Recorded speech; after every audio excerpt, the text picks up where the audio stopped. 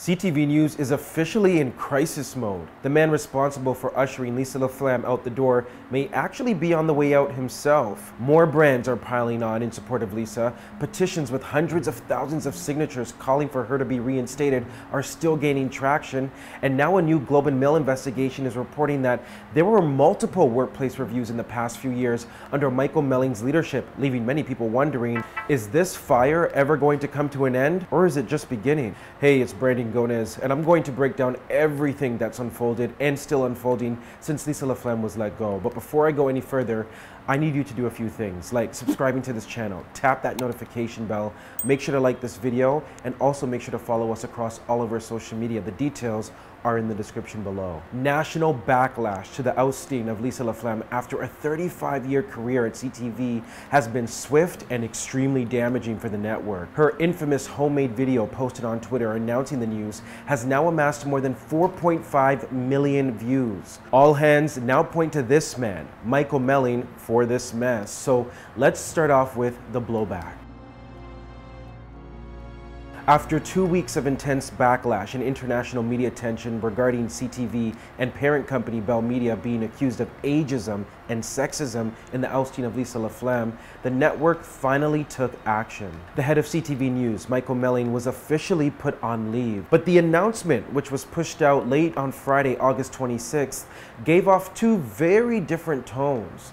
The internal memo announced by Karen Moses, Bell Media's Senior Vice President of Content Development and News, said, Michael Melling decided to take leave from his current role effective immediately to spend time with his family.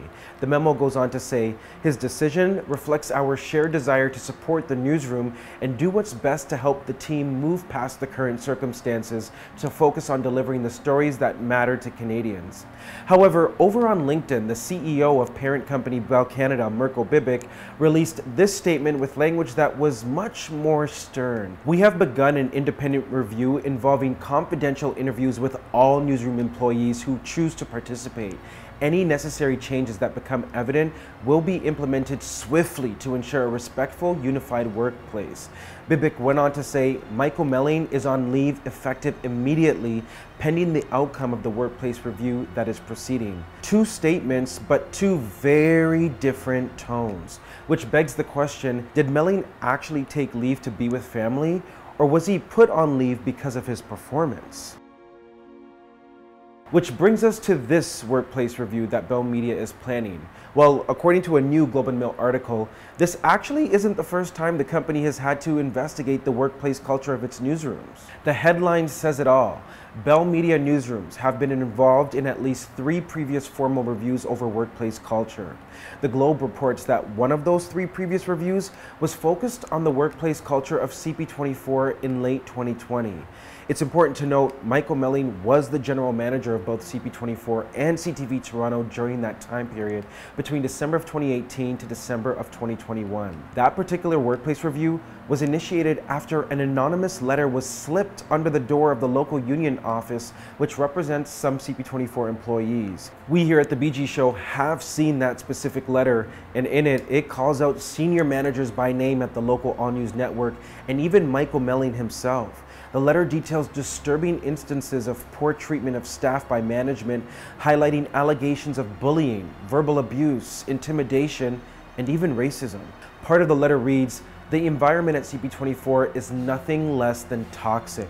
From the assignment desk to the managers, employees feel intimidated, frustrated, and verbally assaulted by managers. Now, according to the Globe, Bell Media launched its own internal review, but that one did not find any issues. The company hired an external investigator to conduct their own investigation, and that investigation, according to the Globe, found interactions sometimes described as direct and harsh from leaders.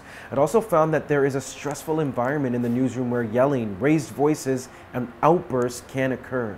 Despite the serious accusations laid out by newsroom staff in that letter and the following investigation that took place, Michael Melling would end up being promoted to head the entire CTV News department in January of 2022. The revelation of these previous workplace reviews comes as journalists at CTV News hired a human rights lawyer to send a letter to Bell Canada CEO Mirko Bibic.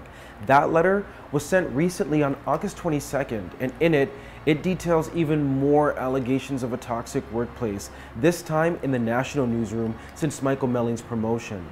Part of that letter reads These well respected journalists have concerns about denigrating comments and adverse treatment in the workplace, with intimidation and reprisal being a common response to anyone who questions the decision making or processes of the new vice president of CTV News. Now, it's no secret that legacy media is going through a transformative state where viewership on TV is declining as more people have chosen to cut the cord. That has led to extra cost pressures on networks to be more agile and to cut costs. Now, could Michael Melling have been feeling that pressure to rein in costs? No doubt. Even Mirko Bibic in his post highlighted these challenges, writing, Broadcasting in Canada is undergoing massive change, and Bell Media needs to adapt or be left behind. He goes on to say this we are at a crossroads where viewing behaviors have changed dramatically and traditional broadcasting is under severe stress worldwide. But the question remains if, in fact, Bell Media's directive to their media division was to transform how things were operating, then was Michael Melling and the baggage he carried the right person to do that job? With the lack of support from frontline employees internally, it's no surprise that any move to transform the way things are done has ended up so messy, blowing up in the network's face.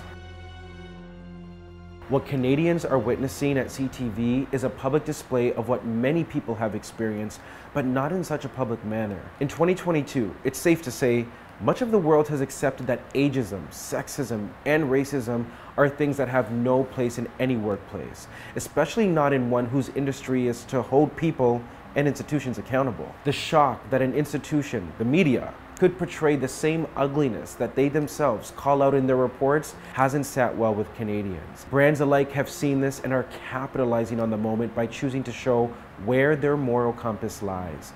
Dove Canada, for example, started a national campaign promoting the message that aging is beautiful and that we should all embrace that process, including having gray hair. Fast food chain Wendy's entered the chat by turning the hair color of their iconic mascot gray and even letting the public know that they stand behind Lisa LaFlamme. It's the kind of negative attention that no corporation wants, especially one whose business model is about attracting viewers. Which really leaves this last question. For a network fighting for relevance in the age of social media and fragmented audiences, can CTV actually recover from this? Hey BG Squad, thanks so much for checking out our channel and listen to this. We have more great content for you like this video right here and this video right here. By the way, don't forget to subscribe to this channel right now and tap that notification bell.